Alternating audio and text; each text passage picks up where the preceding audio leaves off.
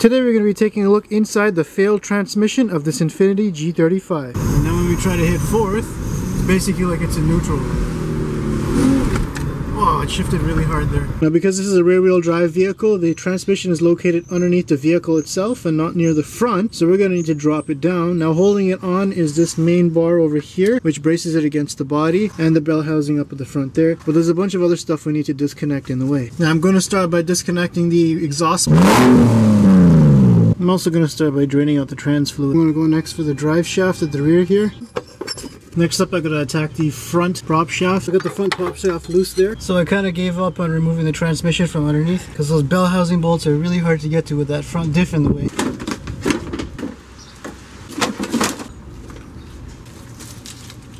So here's the progress I got so far. I got the front end radiator, radiator support off and all the headlights. We're down to the bare engine. Everything's disconnected. So the engine's out on the crane here. You can see just how long this transmission is due to the four-wheel drive transfer case. So here I finally got the automatic transmission removed from the vehicle. I've already got a full teardown video on this transmission and how it works. So make sure you check the link above for that. For the purposes of this, we're going to skip through the teardown pretty quickly to see what the fault is. Now the transfer case is bolted to the output of the transmission and is held in by a bunch of 14 millimeter bolts all the way around. It's too bad I can't get my socket on here. Just pull that right off. I'm just going to remove the torque converter. And then I'm going to remove all these 14 millimeter bolts and just pop off that bell housing. This whole transmission is looking a lot more sizable with the bell housing and transfer case. I'm just going to pry out this front pump here. So it appears that the front sun gear assembly and this drum came apart with this transmission pump. Next up I'm going to remove the front carrier assembly here. And you can see it's got a set of clutches. And those clutches already look pretty black. And now I'll remove the band that goes around that drum. Next I'm going to remove the mid carrier assembly here. Holy, this is burnt up. Now I'm going to remove the mid sun gear assembly here. See there's some burn marks on the outside. And now I'm going to remove the high-low reverse clutch assembly. And you can see these are pretty dark as well. Now it's time to turn this transmission over and make some mess. Oh, there goes all the transmission fluid. Quickly run in here with my brother's old sweatpants and wipe that up. This is going to be one dirty video. So while the transmission is draining on that side, I've got another one of my brother's old t-shirts here. I'm going to spread that under here and remove the transmission pan. Now I'm going to remove the transmission pan. Now I did clean the filter and change the fluid to give the transmission one last chance at life. And I noticed that there was no particles built up in the transmission filter. Next up I'm going to remove about 12,552 10 millimeter bolts here. And I'll just pull off that filter. Just to gently remove the valve body here. And then once the plug is removed, I can remove the valve body. I'm to start by unbolting the tail housing here. And remove it from the output shaft. And then of course we have this output shaft. It runs the rest of the length of the transmission. The next set of clutches inside of here is held in by this snap ring. It's the reverse brake. And with that snap ring out of there, now the last set of clutches in there is for the reverse brake clutch. Now I'm going to remove the back part of that reverse brake piston. And the last part we have is a one-way clutch. You see that this rotates freely in one direction and in the other direction it's nice and firm. And then finally in here we have the forward brake set of clutches. Oh, these look pretty bad. And the last set of clutches inside of there is the reverse brake clutch. And there we have the transmission casing fully gutted. And here we have all the components removed from the transmission. Now we're going to take a look at the individual components to see what could cause cause these transmissions to fail. Now if you remember my videos on how automatic transmissions work, they use a planetary gear set which has an input and an output and another part that's held stationary. So for example, if we're using this planet carrier as its input, we're going to hold this drum outside here stationary. The output is going to be this shaft here, which is going to rotate at a different speed. Now you can get different gear ratios by adjusting which one is your input and which one stays stationary to get a different output speed and direction. Now in an automatic transmission, all of the gears are always meshed with each other. It's not like a manual transmission where they have to manually engage the actual physical gears. The automatic transmission is going to use bands and clutches to hold that third part stationary in order to switch the gear ratio. And that's where we come to the first major failure point on automatic transmissions, and that is when the clutch packs wear out and they no longer can hold friction to hold this adjacent part stationary. and it's just going to slip. Now taking a look inside of here, you can see we have this clutch set and it's completely black inside of there. And you can see the blackness has gone onto the adjacent planet carrier that plugs into it. So this clutch pack is completely burnt out and was one of the main issues that was causing the slipping. So after removing this snap ring here, take apart this planetary gear set so you can have a closer look at that clutch. Now here we've got the clutch pack and piston that controls the movement of this ring gear on the first planetary gear set. Now when transmission fluid flows through these small passages inside of here, it's going to fill up this piston with transmission fluid, creating a pressure that's going to close these clutches together. Right now these clutches are open and they're free to rotate. Once they're locked together, it's going to lock the thing that slides into here, which in this case is actually the next planet carrier for the secondary planetary gear set, and that will be locked to the ring gear on the first planetary gear set. So just remove this snap ring here and then these clutch plates can come out. And you can see just how black these clutch plates are. So just going to give it a quick wipe with my brother's old shirt here. Now the way a clutch pack is supposed to work is you have these alternating clutches some of them have teeth on the outside, and those correspond with the teeth on this carrier over here. And then the next one has teeth on the inside, and that's going to correspond to the teeth on the next planetary gear set after that. And they form a sandwich that come together just like this. Now taking a look at this clutch band, starting at the front here, you can see we've got some pretty hard scoring on these externally splined ones. And you can see a lot of wear marks on the internally splined ones.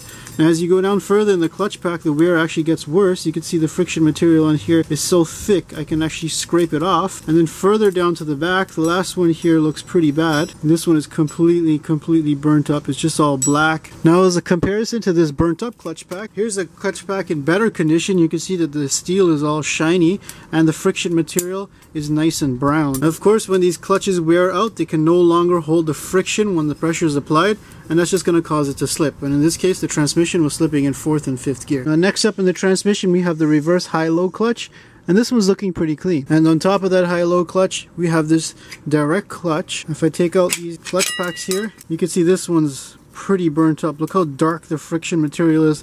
There's even scoring marks on these plates over here. Next we have the reverse brake clutch and you can see that this one's in pretty good shape. Next up we have the low coast brake at the back of the transmission and this clutch is looking okay but the forward brake that sits around it it looks pretty dark and almost ready to burn up though it's not as bad as the other two we saw. Now the real reason why clutches do wear out is because A either your fluid is incorrect or you have the incorrect fluid level and that's going to cause some level of slippage which is going to wear these out a lot faster Another thing is if your fluid is dirty, the contaminants themselves could also grind and cause this thing to wear out. Now, if the transmission isn't designed correctly or it's under a lot of strain, these are also going to heat up and they could literally burn out as you see here. And finally, the driving style has a lot to do with how long your transmission is going to last. Of course, if you're shifting very abruptly, these clutches have to engage and disengage fairly quickly, which is going to accelerate wear. Now, out of the three clutches that were burnt up in this transmission, between the input clutch, high-low reverse clutch, and the forward brake, the input clutch was the one that was the most burnt up and took the most damage. Now if we cross-reference that with this repair manual, you can see that fourth and fifth gear, which is what we were missing on the vehicle,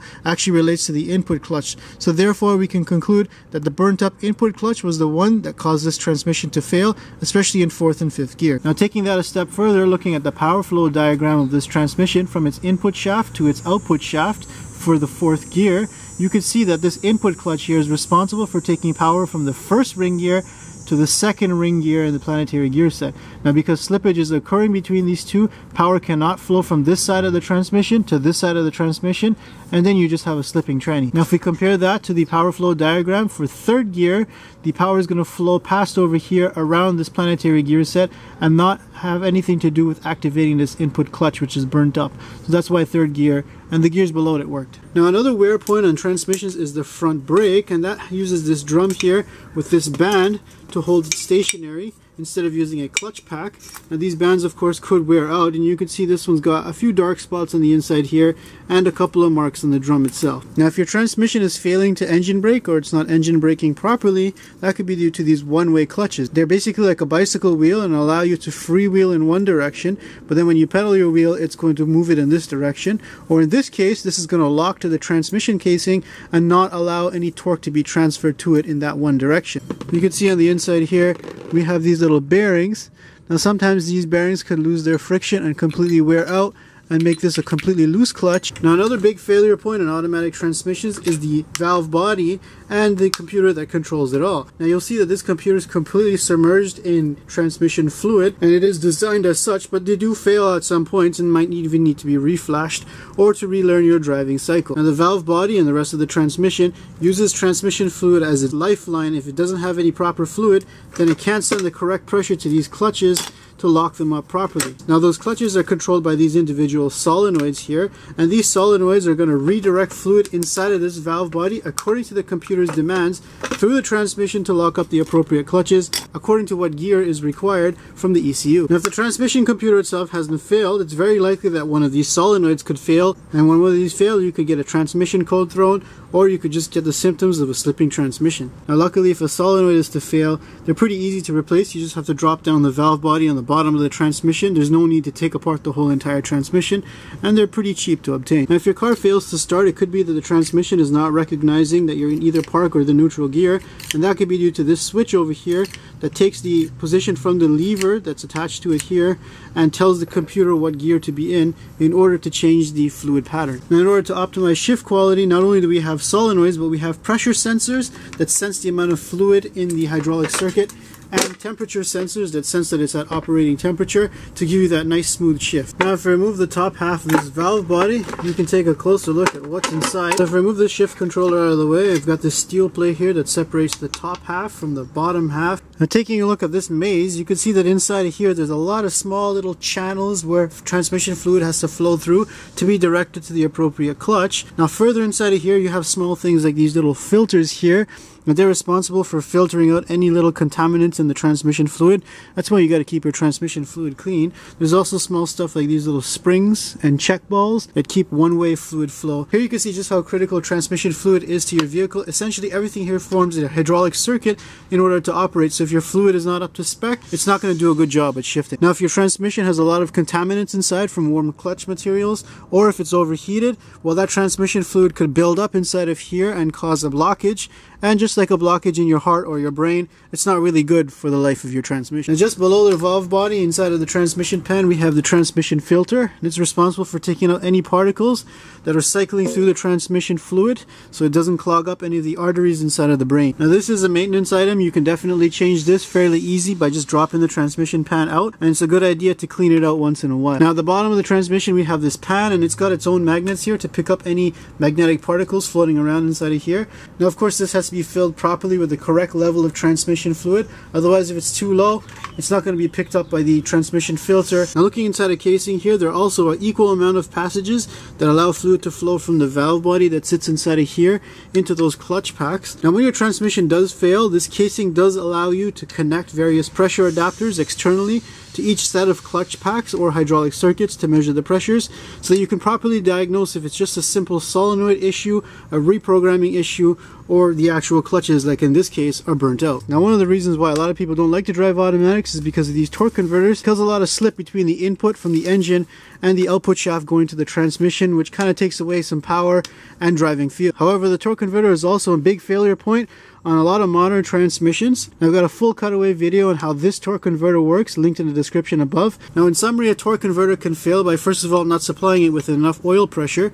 The other thing is there's a lockup clutch inside of here which is going to lock the input and the output together, especially when you're cruising along. It's got a similar clutch just like the regular clutches inside of here, and that could definitely wear out, causing a no lockup issue. And finally, there's also a one-way clutch inside of here that only allows the stator to rotate in one direction. Now you've seen all the components and how complicated it could be to repair an automatic transmission. The next time your dealership asks you if you want to change your transmission fluid, you should definitely consider doing a drain and fill at least once a year to keep things fresh. Otherwise, you could end up with something like this. Now take it easy out there when driving one of these automatics, especially if it's one of those failure prone Honda or old Chrysler cars that are known for eating transmissions. Now make sure you follow me on Instagram for more behind the scenes footage and subscribe for more videos just like this one.